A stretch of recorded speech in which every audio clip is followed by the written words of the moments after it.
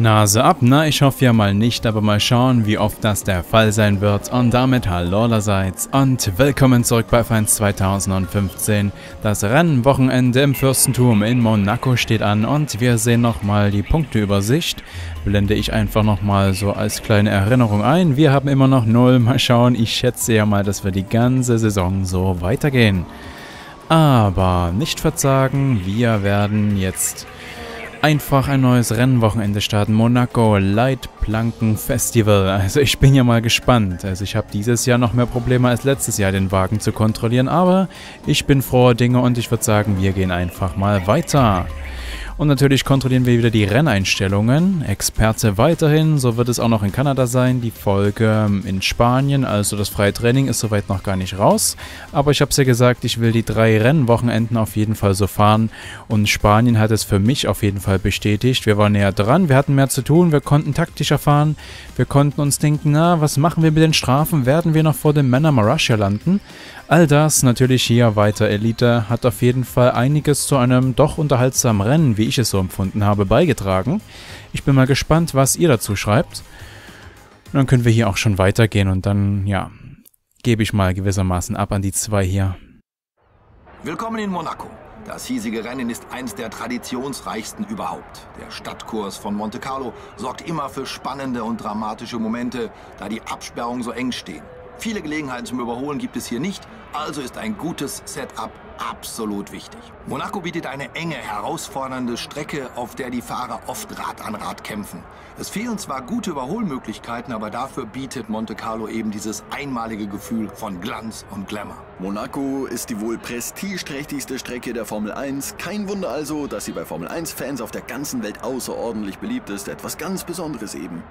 Alle Jahre wieder das gleiche Szenario. Die Löwskurve ist die langsamste Kurve aller Strecken der Formel 1. Sie wird gerade mal mit 50 km/h gefahren und gerade in der ersten Runde des Monaco Grand Prix kommt es hier immer wieder zum berühmt-berüchtigten Ziehharmonika-Effekt. Alle sind froh, wenn sie da durchkommen, ohne ein paar Teilchen zu verlieren. Die Kurve ist so eng, dass die Teams für das Rennen eine spezielle Zahnstange verwenden, da die Wagen sonst die Strecke nicht schaffen würden. Man kann in der Löwskurve überholen, aber oft führen solche Überholmanöver nur dazu, dass eins der Fahrzeuge sich eine gebrochene Nasenspitze holt. Ja, denken wir doch nochmal an Kimi Räikkönen im letzten Jahr.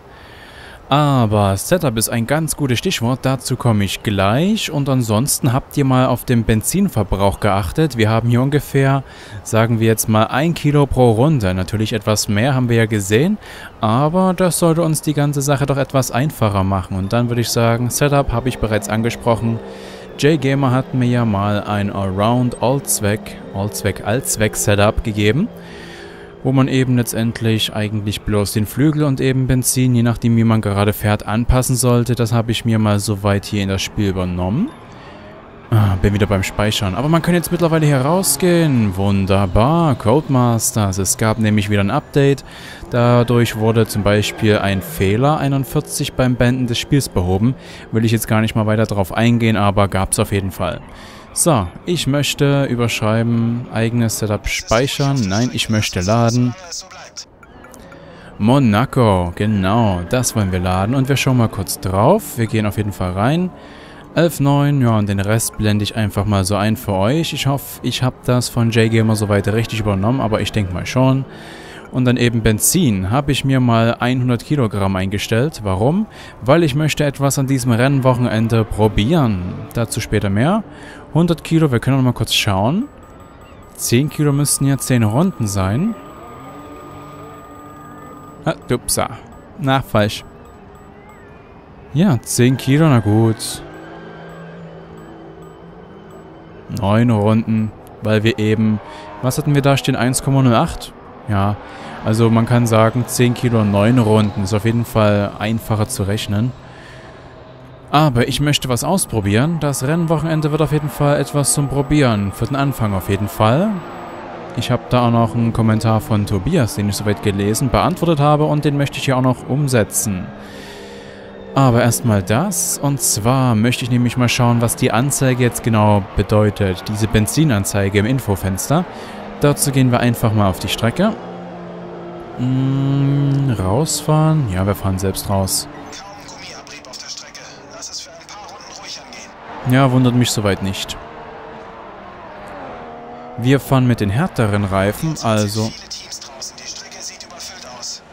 Die härteren Reifen sind heute die Soft und die weicheren die Super Soft. Gefällt mir auf jeden Fall schon mal gut. Eine weiche Reifenmischung, mehr Grip. Halten zwar nicht so lange, aber gefällt mir grundsätzlich besser. Dass die... Oh Gott, die Ausfahrt hier wird wieder was. Stimmt, die muss ich auch noch üben. Vor allem im zweiten Gang anfahren, da kommt mir doch so gerne das Heck rum. Hupsa. Ja, hier gibt es ja mittlerweile bloß noch Verwarnung, also das Strafen.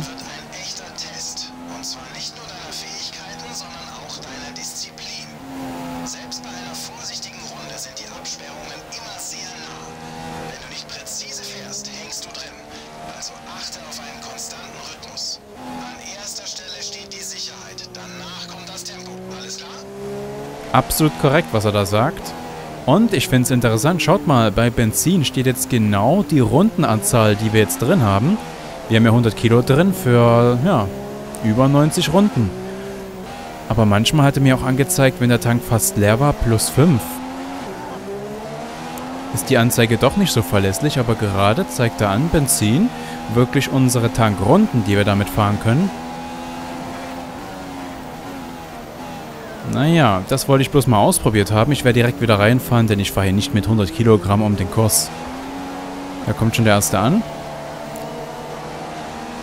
Das ist schon der nächste.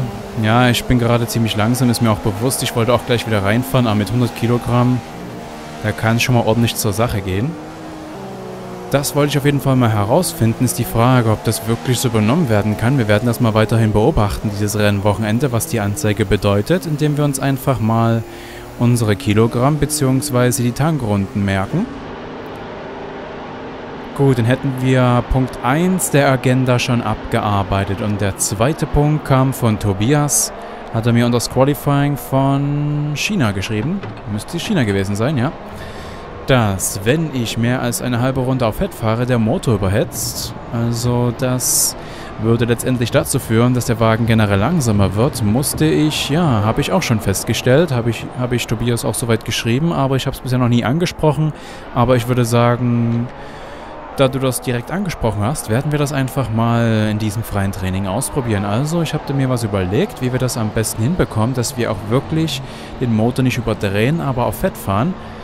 Das werden wir gleich angehen, aber erstmal pumpen wir mal, pumpen wir mal wieder. Was Alonso vor uns, oder? Ja pumpen wir etwas Sprit aus dem Tank. So, bist du Jeff? Unser Renningenieur? Nehme ich jetzt mal an, weil er gibt unsere Daten, unser Tablet hier für das Setup. Und dann schauen wir jetzt mal ganz hinter. Es ist wieder ein Geklicke. Also früher hat man einfach die Taste gedrückt gehalten. Mittlerweile macht es das ja mit den Schaltwippen, nicht mehr mit dem Analogstick. Naja. Also das ist auf jeden Fall zu viel. Na, wir sehen es nochmal. Voller Tank, das waren wirklich die Runden, die uns da in etwa angezeigt hat, ja. Nehmen wir jetzt mal weniger mit. Ja, zwölf Runden reichen etwa so. Genau. Setup passt eigentlich soweit. Reifen müssten wir uns eigentlich nicht großartig anschauen. Keine Abnutzung vorhanden in der Auslaufrunde. Die Reifen haben hier an sich für die Auslaufrunde oder für die Aufwärmrunde, sage ich jetzt mal, quasi eine extra Schicht Gummi, damit die eben auf der schnellen Runde wirklich optimal sind. Gut, dann würde ich sagen, war es das hier schon wieder und wir fahren wieder raus. Also ich gehe jetzt mal dem Kommentar von Tobias nach. Ich stelle den Motor gleich mal auf Fett. Und vorher werde ich noch was anderes machen. Und zwar habe ich gesagt, ich will den Wagen nicht überdrehen. Und da ich eben selbst schalte und das eben jetzt mal ausschließen möchte, werde ich das Getriebe auf Automatik stellen, aber bloß für den Test. Ansonsten fahre ich immer manuell und das ist auch schneller und man hat einfach viel mehr taktische Möglichkeiten. Also, hier war es nicht. Fahrhilfen. Einstellung, Rennen, Leitung.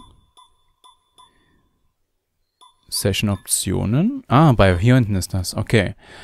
Also, Getriebe. Automatik. Wie gesagt, ich will den Motor meinerseits nicht überdrehen. Wir werden auf Fett fahren, den Wagen soweit konstant halten und ich werde mal die Temperaturanzeige offen haben. Noch kann ich nichts am Benzingemisch verstellen. Oh, die Ausfahrt jetzt wieder. Wie übergibt er eigentlich? Halt das Lenkrad mal gerade. Okay, übergibt doch gerade. Ach stimmt ja, ich habe jetzt geschalten, aber es ist nichts passiert. Stimmt ja, ich weiß ja warum. Der schaltet ja nach Geschwindigkeit. So, jetzt gehen wir mal auf Fett und fahren jetzt mal so weit es geht am Limit. Und wir schauen mal auf die Motorradtemperatur. Oh Gott.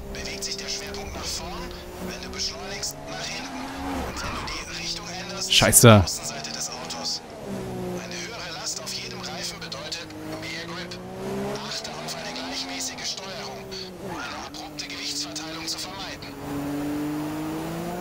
Ja, ja, ja, ja, ist soweit schon alles richtig. Ich schalte noch währenddessen wie gewohnt weiter, aber es tut sich nichts am Wagen.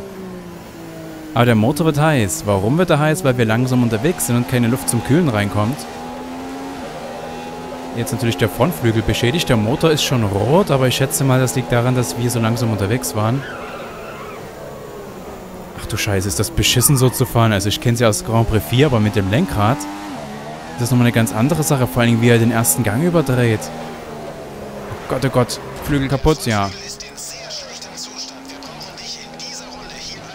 Okay, wisst ihr was? Einfach, weil ich den Test jetzt hinter mich bringen werde, äh, möchte und das eben auch gut, werde ich mal direkt zurückspringen.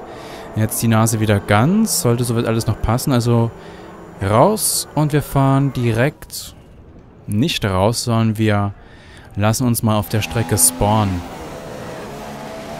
Fliegende Runde also.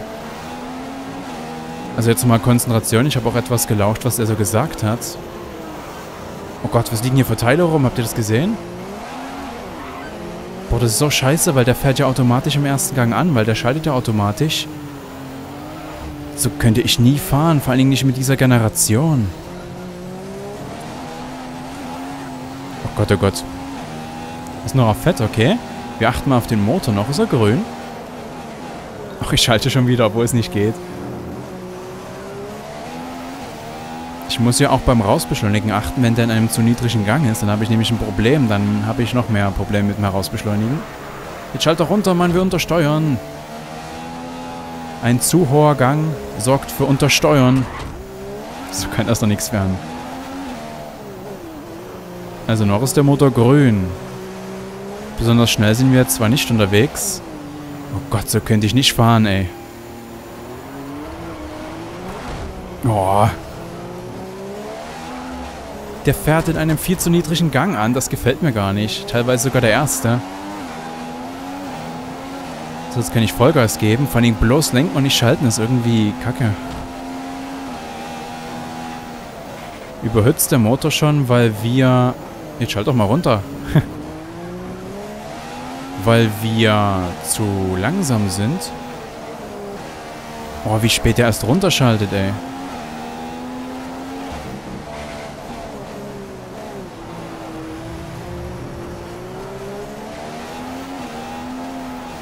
Also langsam finde ich mich rein, wenn ich dazu nicht quatsche.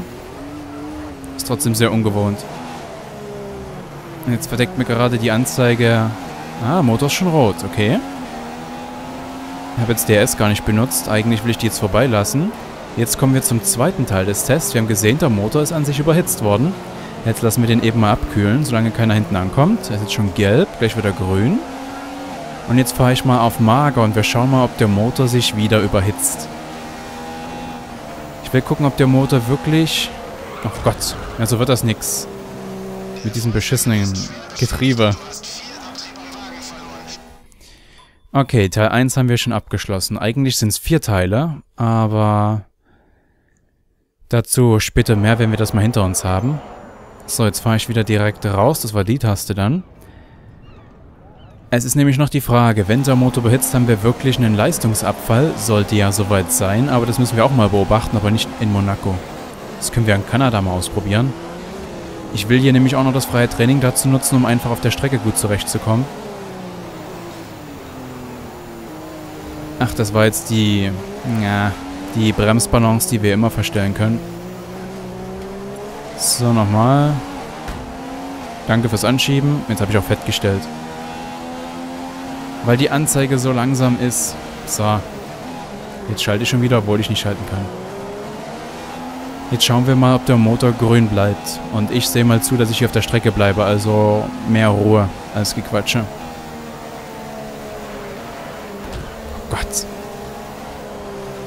Ja, schalt doch mal.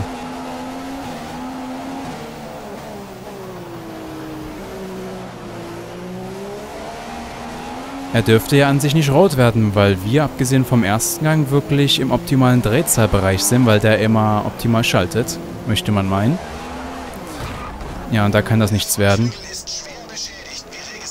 Okay, ehe ich jetzt wieder zurückgehe und wir haben ja schon eine gewisse Runde hinter uns, werde ich jetzt einfach mal die Rückblende ver verwenden, einfach um diesen Test mal abzuschließen. Ich will einfach herausfinden, ob der Motor jetzt auf Mager rot wird, überhitzt. Mehr will ich hier gar nicht herausfinden, aber es sieht wirklich so aus, als ob der im grünen oder maximal im gelben Bereich bleibt. Und dann bleiben mir die Reifen stehen.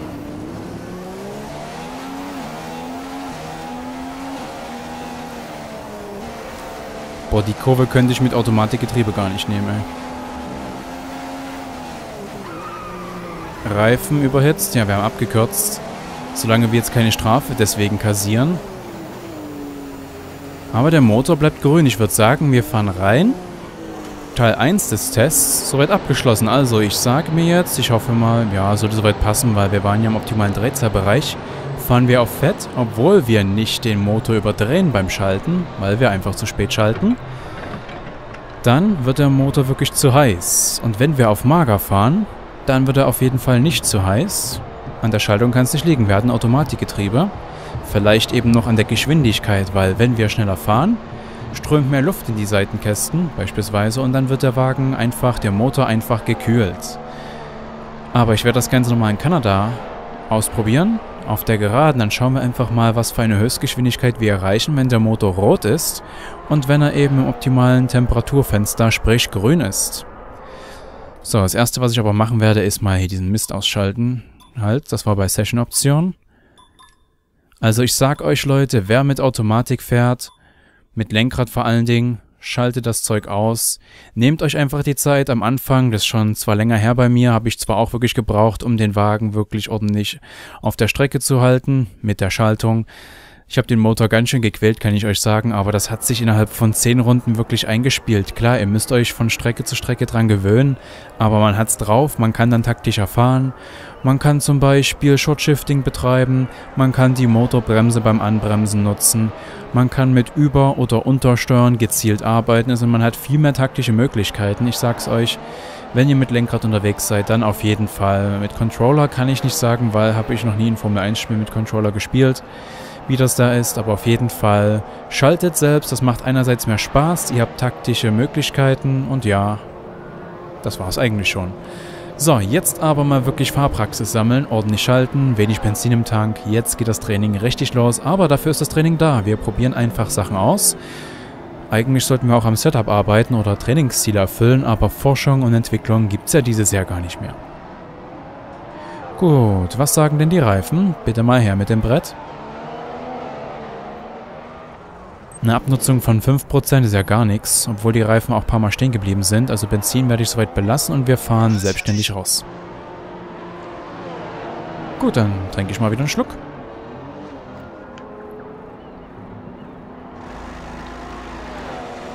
Es gab gerade ein schönes, leises Pfeifgeräusch beim Trinken. Kein Glück, Glück, Glück, Glück, sondern ein... Oder so ähnlich. So, die Temperaturanzeige kommt weg, weil die versperrt mehr in den Rechtskurven den Scheitelpunkt.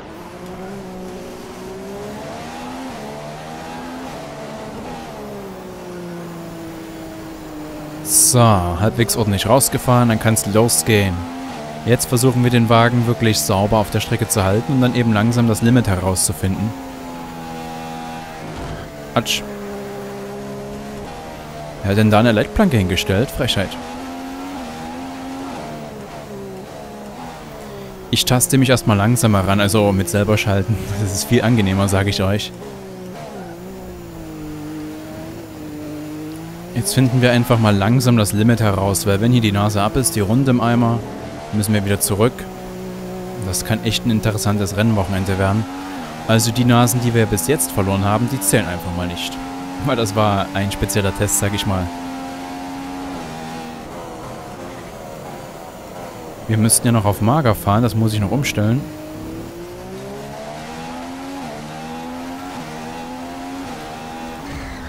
Oh.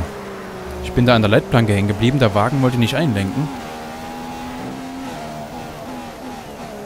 Ja, und was mir vorhin schon aufgefallen ist, der blöde Poller ist jetzt endlich wirklich weg. Der ist nicht nur umgefahren, der scheint wirklich komplett weg zu sein.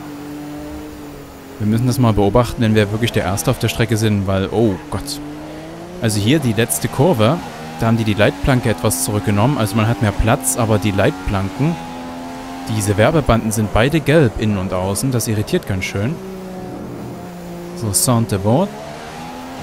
Kann auch interessant werden, vor allen Dingen, wenn die Vorderreifen stehen bleiben, weil dann geht es nur geradeaus und ist der Flügel ab. Und vielleicht haben wir sogar einen Platten.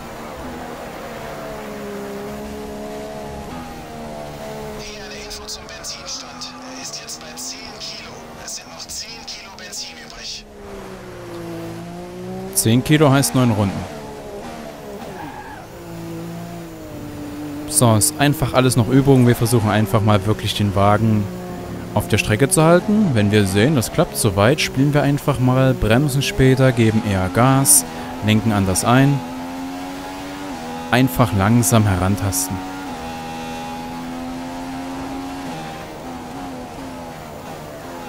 Hier bremse ich auch etwas eher an, weil wenn mir der Reifen hier stehen bleibt, der Vorderreifen, dann geht es nur geradeaus. Schikane abgekürzt, dann gibt es womöglich noch eine Strafe. Oh Gott, oh Gott. So, kommt da jemand an? Bitte vorbeifahren. Das war sogar Alonso. Und da liegt ein Teil. Habt ihr das gesehen? Rechts. An der Leitplanke lag was.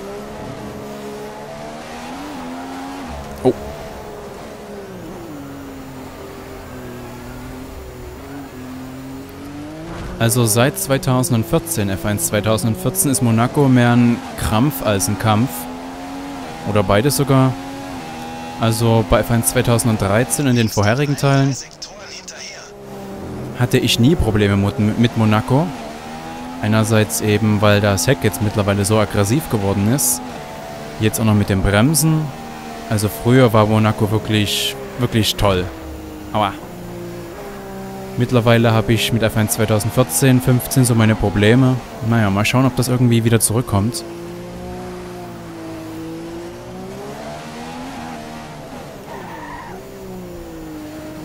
Löwskurve heißt die wieder so, weil die hieß ja auch mal Vermont. Also das Vermont Hotel war hier mal, deswegen hieß die auch Vermont, die Kurve. Ich wüsste es gerade aktuell gar nicht. Auf jeden Fall, nächste Kurve oder nächster Abteil ist die Sch ähm, Hafenschikane. Wollte schon Schwimmbad sagen, aber ist total falsch. Und dann kommt Tabak, die ich auch sehr mag, und dann eben Schwimmbad.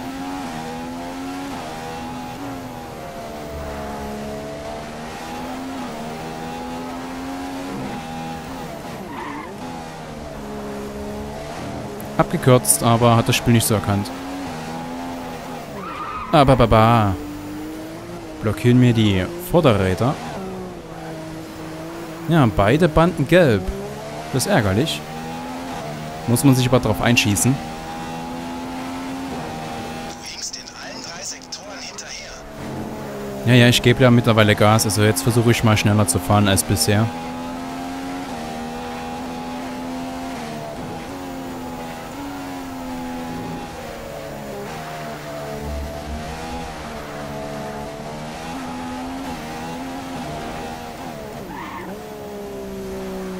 So. Erster Streckenabschnitt ist geschafft und jetzt kommt meines Erachtens, meines Erachtens der Streckenabteil, der wirklich schlimm zu fahren ist. Einerseits das Herausbeschleunigen da oben, dann hier die Durchfahrt, bin ich mir auch nicht so ganz sicher mit den blockierenden Reifen. Und eigentlich wird es für mich erst jetzt wieder so richtig schön. Jetzt Tunneldurchfahrt, dann eben Hafenschikane, Tabak und Schwimmbad, das sind so meine Highlights.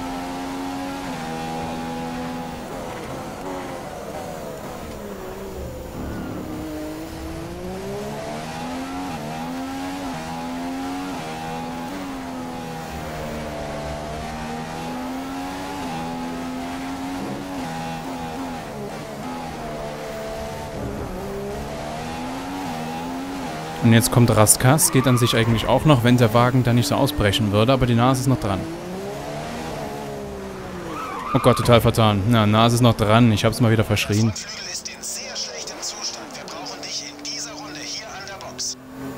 Nee, ich, ich riskier's nicht. Ich wollte jetzt eigentlich so weit zurückfahren, dass ich noch in die Box komme. Aber am Ende brummt er uns noch eine Strafe auf. Oder wir werden disqualifiziert, weil wir zurückgefahren sind. Nee, das will ich jetzt nicht riskieren. Nee, nee, nee, nee, das muss nicht sein. Ja, angesprochen. Also mein erster Eindruck, ja, abgekürzt. Mein erster Eindruck, Saint-Devote ist sehr schwierig zu fahren, klar. Aber hier, das Bergaufstück, dann gleich, äh, die Kurve, aber natürlich ohne Flügel geht natürlich nicht. Oh, noch fünf Minuten. So schnell ging das Training vorbei mit unseren Probereien. Ja gut, dann werden wir gar nicht mehr fahren können. Also nach Saint-Devote, wenn es den Berg hinaufgeht, die zwei Kurven, Casino, also der komplette erste Sektor, der gefällt mir soweit. Der zweite Sektor gefällt mir nicht so wirklich. Also der zweite Sektor geht zwar bis zur Schwimmbadschikane, aber ich sag mal so, ab Casino bis ungefähr hier, das ist vielleicht so der schwierige Sektor. Einerseits, weil er mir nicht liegt, ja, das wird es auch generell sein. Also der zweite Sektor liegt mir nicht. Und das geht dann eben bis knapp hierhin, wo ich es gerade angesagt habe, beim Herausbeschleunigen in den Tunnel. Oh, du solltest doch rechts vorbeifahren. Ja toll, jetzt der Reifensatz auch noch mal einmal. Moment. Das muss ich mir nochmal anschauen. Der sollte eigentlich rechts vorbeifahren. Also nach außen gehen. Ich werde jetzt nicht zurückspulen, aber ich will es mir einfach mal anschauen. Ja, wir haben alles gesch gestoppt. Ja, der schiebt er uns an, oder wie? Nochmal zurück und auf den Hintermann ist ein Torosso. Äh, nee. Ach so, der geht nach Klassement. Der geht nicht nach Wagen auf der Strecke, er geht nach Klassement. Oh Mann, ist das doof. Hier halt. Ach so. Aha. Vor allen Dingen fährt der Torosso dann gegen den Stapel. Und dann ist der Mercedes irritiert. Moment. Und hier haben die sich angeschoben, oder wie? Pah, die machen ja Sachen. Nochmal zurück. Ich will den Mercedes haben hier. Also klar, dann fährt er nach links. Dann räumt er uns ab. Also er hätte einfach bremsen müssen, aber wollte dem ausweichen und hat nicht wirklich, die KI hat nicht wahrgenommen, dass vor ihm jemand noch ist. Und dass sie da gebremst hat, das ist wirklich hier klar. KI-Fehler sagen, aber ist letztendlich auch nur ein Rennunfall, würde ich jetzt nicht so schlimm werden. Im Rennen wäre es sehr ärgerlich, aber hier, der ist einfach, der fährt jetzt noch stur geradeaus weiter, ohne zu bremsen. Der schiebt uns einfach vorweg. Na gut. Aber Hauptsache, wir bekommen jetzt keine Strafe, weil wir den aufhalten. Ja, was für ein Ende des Trainings. Aber mein Eindruck ist bisher ganz positiv. Also ich habe es mir schlimmer erwartet. Aber vielleicht kommt das eben noch im Qualifying oder spätestens im Rennen, wenn es richtig darauf ankommt. Ich glaube, links lag wieder was in der Leitplanke. War das wirklich der Stöpsel vom Poller? Kann gut sein. Naja, wir fahren jetzt auf jeden Fall rein. Dann war es das mit dem freien Training. Wir sind Letzte geworden. So in etwa würde ich für dieses Rennwochenende auch, auch auf, auf Experte das Ganze hier ansehen. Weil mit dem Drehmoment auf der Hinterachse und dann eben das Anbremsen, das wird wirklich hier besonders schwierig werden. Ja, wollen wir nochmal rausfahren, nochmal die weicheren Reifen benutzen? Also an sich hätten wir noch Zeit. Jetzt stehen da noch gute drei Minuten. Wir fahren hier, ja, sagen wir jetzt mal 1,30. Runden wir mal auf. An sich wäre das noch möglich. Also eine Runde zumindest rauszufahren. Also Reparaturzeit wird es hier doch wohl nicht mehr geben. Zumindest zeigt er uns keine mehr an, wenn der Reifen, beziehungsweise jetzt einfach der Frontflügel ab ist und Alonso hält wieder. Wieder, wenn wir gerade rein sind. Ja, Zeit steht soweit. Dann würde ich mal sagen, schauen wir nochmal aufs Tablet und dann wählen wir nochmal die weicheren Reifen aus und fahren nochmal eine Runde, auch wenn es bloß eine Aufwärmrunde ist. Ist mir an sich egal. Vor Abnutzung bei 0%, obwohl der Reifensatz im Eimer ist. So, dann nochmal raus, bitte. Benzin ist zwar jetzt an sich noch zu viel, aber stört mich jetzt nicht.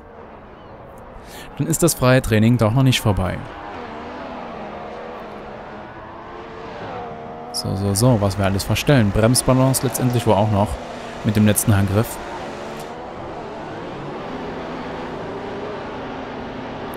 Vielleicht ist ja doch noch was drin. 1,30 brauchen wir hier in etwa. Bestenfalls fahren wir eben schneller auf unserer schnellen Runde. Also jetzt nicht zu sehr rumtrödeln. Aber auch nicht die Nase verlieren. Ups, Entschuldigung. Hat er jetzt gar nicht bemerkt. Nicht mal eine Verwarnung. Na gut. Also nicht trödeln, aber auch nicht die Nase verlieren. Oh Gott. Abtriebsverlust, weil im Windschatten. Ja, jetzt ist gerade so die Zeit, wo wir über die Linie hätten kommen müssen. Und wir sind ja jetzt schon in der Löwskurve. Wie es uns zumindest vorhin angezeigt wurde. Das Hotel hat in den letzten Jahren so oft seinen Namen gewechselt. Das Hotel, was eben namensgebend für die Kurve ist. Da habe ich aktuell auch nicht den Durchblick. Muss ich ehrlich gestehen.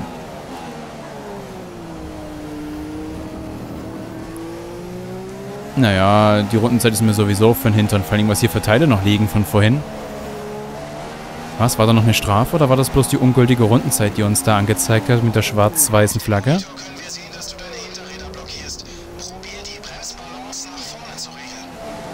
Was, Hinterräder jetzt? Vor allem, wir haben schon... Aua. Wir haben jetzt schon gar nicht wirklich Gas gegeben und auch nicht so hart gebremst. Wenn, dann haben eher die Vorderräder blockiert. So, eine Runde noch mal schauen, was hier drin ist.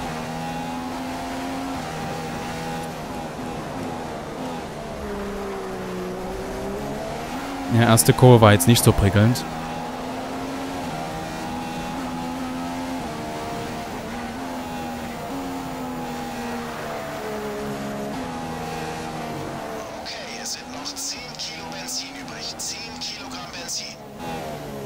Wir holen sogar auf Perez auf, aber ich glaube, der ist nicht wirklich schnell, oder?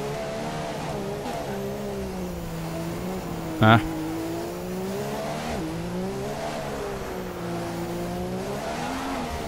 Vor allem das Rausbeschleunigen im zweiten Gang in der Kurve, das kotzt mich richtig an. Weil das so schwierig ist. Und jetzt im Tunneleingang ist er uns davongezogen. Oh,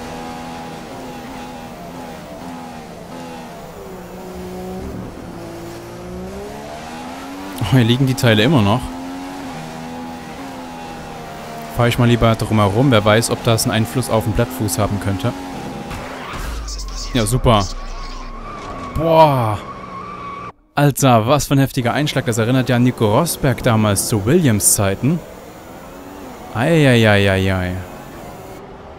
Schauen wir uns das Ganze mal von außen an. Also, damit habe ich jetzt nicht gerechnet. Batz. da war erst der, die Nase weg und dann links natürlich heftig eingeschlagen. Hoi, Also nochmal zurückspulen. Das war jetzt die Taste hier seit diesem Jahr. Vor allem erst platzt der Reifen, dann fliegt er ab. Kann ich irgendwie langsam machen? Ja, mit, also früher konnte man das mit dem Gaspedal ganz leicht dosieren, wirklich zeitlupenmäßig nach vorne gehen, aber ich kann jetzt bloß Schaltwippe drücken und das ist eben entweder 0 oder 1. Beim Gaspedal sage ich mal, ist es entweder 0, 1, 2, Punkt, Punkt, Punkt, 100. So, hier schlagen wir an, Nase weg, dann bricht der Wagen natürlich aus und Hinterreifen verliert Luft und der Vorderreifen fliegt komplett ab, okay.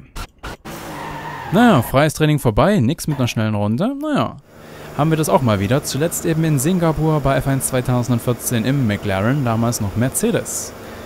Rückblende nicht verwenden, ich werde die Session beenden. Ah, wir sind sogar vom Motorrad abgestiegen. Wäre natürlich jetzt ein Witz gewesen, wenn wir aus dem Auto gestiegen wären. Das war ein produktiver Tag für Kimi Räikkönen. Er hat es beim heutigen Training auf den ersten Platz geschafft. Ja, so rundenzeitmäßig ist noch gar nichts, aber so schlimm mit den guten, sagen wir jetzt mal, 6,5 Sekunden Abstand sehe ich uns jetzt nicht. Die richtige Runde habe ich noch nicht hingebracht und wir warten jetzt einfach mal ab im Qualifying. Da wird nichts mehr geprobt, da wird einfach schnell gefahren, so schnell es geht, mit dem kompletten Wagen. Oh, da habe ich zum zweiten Mal für die Welt da draußen bei Codemasters Spielen meinen Wagen zerlegt. Ja, Singapur, zweite Saison F1 2014, auch da äh, Stadtkurs und es war Qualifying. Jetzt war das freie Training und ich habe eben einige Sachen ausprobiert. Einerseits eben das Setup von JGamer soweit. Du, ja, das passt soweit. Würde ich auf jeden Fall auch für das Qualifying und dann eben natürlich auch für das Rennen nehmen. Danke auf jeden Fall dafür. Mal schauen, wie das eben auf anderen Strecken wirkt, muss ich einfach mal schauen. Und dann eben noch Tobias mit seinem Hinweis, wenn man auf Fett fährt, dann wird der Motor heiß. Das haben wir auf jeden Fall bestätigen können. Und ob es wirklich noch einen Leistungsverlust geben wird, das würde ich einfach mal in Kanada ausprobieren wollen. Also bis dahin nochmal warten. Und ansonsten haben wir auch noch das Benzin ausprobiert, die Anzeige im Infofenster. Benzin Doppelpunkt plus, ich glaube ja 92 waren es, unsere Runden, die wir auch wirklich getankt haben mit 100 Kilogramm. Also Training einfach mal genutzt, wenn auch den Wagen zerlegt. Die Zeit sollt, äh, sollte einfach nicht so wirklich ernst genommen werden. Da sind wir im Qualifying mit Sicherheit näher dran. Das kann ich jetzt schon sagen, obwohl ich das Qualifying noch gar nicht gefahren bin. Also, wir sehen uns wieder, wie gesagt, im Qualifying und bis dahin, macht's gut und ciao, tschüss.